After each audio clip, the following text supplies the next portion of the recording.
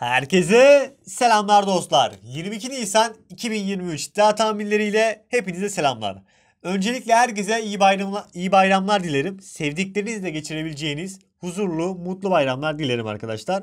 Ramazan bayramınız kutlu olsun. Şöyle başlayalım. Cumartesi içinde 8 adet mücadelem var. İdeal ve yüksek oranlardan bahsettim. Güzel maçlar var açıkçası. Kafanıza yatan maçları idealden veya yüksek oranından değerlendirebilirsiniz. Maç skoru yarışmasıyla başlayalım. Sizlere Ümraniye ile Beşiktaş'ın maçı var. Maç skoru ne olur diye sorduk. Değerlendirecek arkadaşlarımıza bol şanslar. Yine bilen bir arkadaşımızı katı telegram gruplarına ekleyelim. Yorumlara yazarsanız sevinirim. City maçını kazanan arkadaşımız Lehtia. Roma maçını arkadaşın Roma maçını kazanan arkadaşımız da Sir isimli arkadaşımız. Bu arkadaşlar benimle Instagram üzerinden iletişime geçebilir. Instagram adresimiz Kangal Bey olarak zaten değiştiğini söylemiştim. Buradan da doğrudan benimle iletişime geçebilirsiniz arkadaşlar. Buradan e, soru, görüş, öneri, katıl grupları hakkında bilgi almak vesaire her şey için doğrudan iletişime geçebilirsiniz. Buradan da mesaj atabilirsiniz diyerekten geçeyim. NBA'de çok güzel gidiyoruz. NBA'de son verdiğim 3 gündür 3 kuponda geldi. Bir tane üçlü yapmıştık. O geldi 2.76 gibi orandan. 2 orandan ve 2.03 gibi orandan kazandık. NBA'de 3 gündür tutturuyoruz. Dün de Golden State'in maçı vardı. Clippers'ın maçı vardı. Onları değerlendirdim. Hop yakaladık. Zaten Golden State maçına yüksek misli yaptım. Dedim ki yani Golden State'e ben güveniyorum. İki maçtır yeniliyor. Artık burada rahat alır diye düşünüyordum. Öyle de oldu. Dün de aynı şekilde kazandık. Lakers maçıyla Miami'nin maçı vardı. Onda da değerlendirme yaptık. Oradan da kazandık. NBA'de güzel bir seri yakarak, yakalayaraklarına devam ettik. Yüksek misliye baktığımız zaman da dün gece verilen yüksek misli zaten. Golden State maçına verdim. Maç sonu birini. Nesineciler dedim ki 3 handikaplı alsın. Gayet güzel bir oranı vardı. Zaten 15-20 sayı fark attı Golden State. Kazandık yüksek misli. Sağda gördüğünüz yüksek misli de dünün Avrupa yüksek mislisiydi. Başarısız oldu. Ankara gücünün bir golünü Trabzon'un da çifte şansını verdim.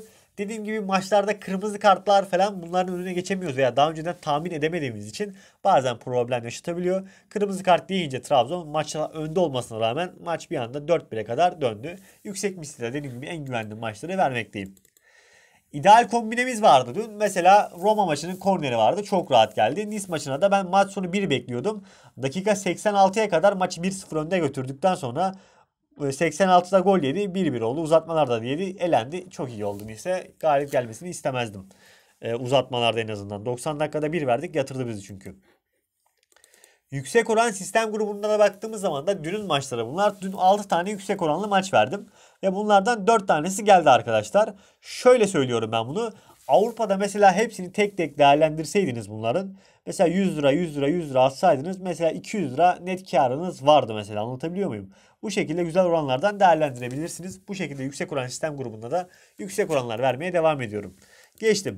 Canlı odasında da canlı maçlarla zaten devam ettiğimizi biliyorsunuz. Canlı olaraktan da alıyoruz, veriyoruz, alıyoruz, veriyoruz derken genelde alıyoruz. Dün 4 tane canlı verdim. 4 tanesi de başarılı oldu. Hafta sonu içinde ekran başında olacağız. Hafta sonu içinde canlılarla devam edeceğiz. Özellikle can, canlı oynayan arkadaşlar bir gruplarımıza gelip bakınabilir. Diyerek videomuza başlayalım. Sizlerden ricamız videoyu atacağız. Artı 300 seviyesindeki like'lardır. Like'ları eksik etmeyelim. Videomuza like'larınızı bekliyoruz. Başlayalım.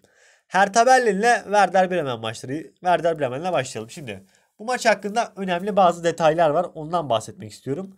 Hertha Berlin tarafında öncelikle bir hoca değişikliği oldu. Hoca değişikliği kim geldi? Paul Darday, e, Paul Darday geldi arkadaşlar. Bu teknik direktör Hertha Berlin'in başına üçüncü kez geliyor. Ve bu adam şöyle bir adam. Hertha Berlin'in efsanesi olarak geçiyor. Ben kariyerine de baktım. 48 47 yaşındaki Macaristan uyruklu bir teknik adam bu. Hertha Berlin'de zamanında orta saha oynamış. Sadece Hertha Berlin'de oynamış yani öyle söyleyeyim ben sizlere. Macaristanlı olmasına rağmen sadece Hertha Berlin'de oynamış. Hertha Berlin efsanesi olarak geçiyor. Ve ilk maçına tekrardan çıkacak ve 3. dönemi. Werder, Werder Bremen'e baktığımız zaman da onlar da son 6 maçtır doğru düzgün bir sonuç alamadı. Galibiyet alamadı mağlup olmaya devam ediyor. Onların da form düşüklüğü var. Hertha Berlin burada puana daha çok ihtiyacı olan takım düşme potasında. Ben burada iki orandan değil de e, şöyle Nesine de var. Hertha Berlin yarı kazanır. Yani ya veya bir tane ilk yarı veya, veya ikinci yarıyı Hertha Berlin'in kazanmasını bekliyorum. Hertha Berlin yarı kazanır diyorum. Riskli olaraktan da sistem kuponları atacaksanız da Darday'ın ilk maç olmasından kaynaklı yeni hocaların gelişi de zaten hep olumlu yansımıştır. Maç sonu bir de sisteme girebilir diye düşünüyorum. Mainz'la Bayern Münih karşılaşması. Bayern'e açılan oran gerçekten değerli. Deplasmanda 1.38 gibi oran açmışlar ki Bayern Münih son dönemdeki formu gerçekten işler acısı. Yani Oliver Kahn'ın açıklamaları, takımın üretememesi, pozisyonları bitiremesi, bitirememesi falan derken Mainz'de oynayacaklar ve uzun zamandır yenilmeyen de bir Mainz takımı var.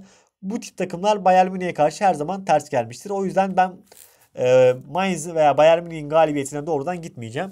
Burada yapacağım tek bir tercih var benim. Mücadele zaten 2-1-3-1 ayarında bir maç bekleniyor Bayern tarafına.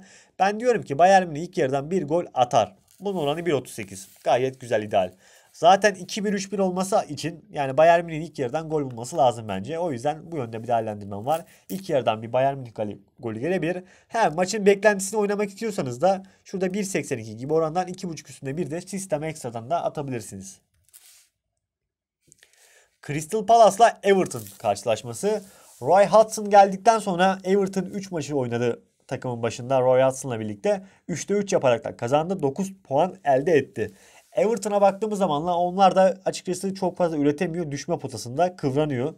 Burada bir olası bir beraberlik çıkma ihtimali. Normalde Palace tarafına gidecektim. Palace'ın doğrudan galibiyetini ki maçın zaten indeks beklentisi de şu yönde. 2-0'lık bir Crystal Palace galibiyeti. Burada Everton'a karşı galip gelebilirler. Hiç problem değil. Gelebilirler zaten. Ama dediğim gibi Everton'ın da puan düşme düşme potası olma, olmasından kaynaklı ateşi hissediyor. O yüzden bir beraberlikle çıkma ihtimali bir birden korktuğum için tek tercih yüksek oranlı bir tercih yaparaktan da mücadele genelinde toplam gol aralığı 2-3 gol bekliyorum. 1.78'de bunun oranı var. Değerlendireceklere bol şanslar.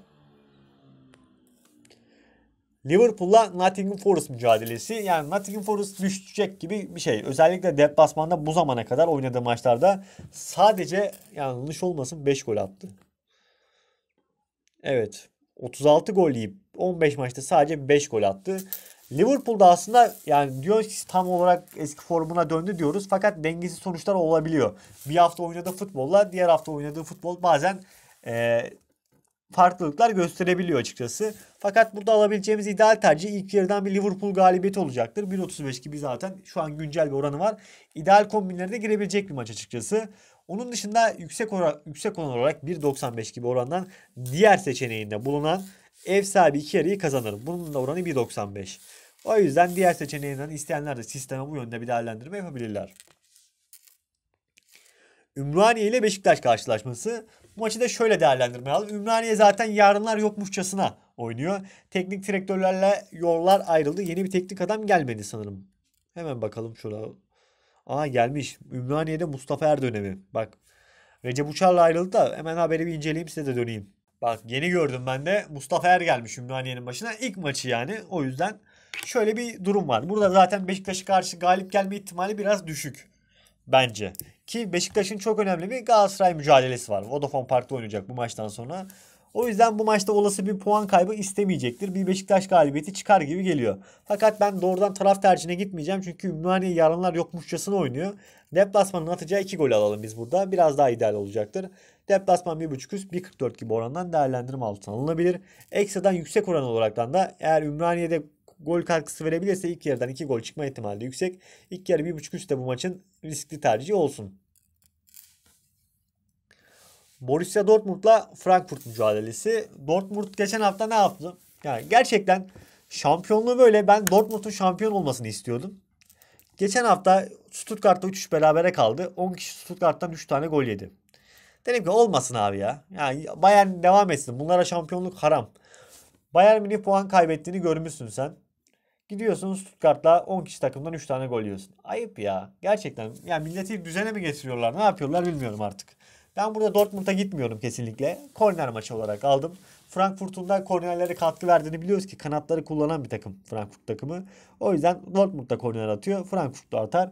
Mücadele genelinde 8.5 üst korneri idealden alabilirsiniz. Şu an korner açık değil. Cumartesi sabah açık olacaktır. Bol şanslar.